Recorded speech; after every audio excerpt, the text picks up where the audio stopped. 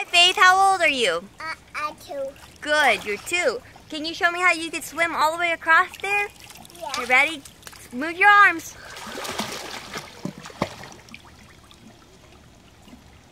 Good. Can you come back to right here?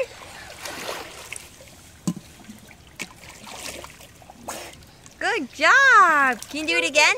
Move your arms. Move your arms. No, that was good. Good job. One more time. Swim back here. Move your arms.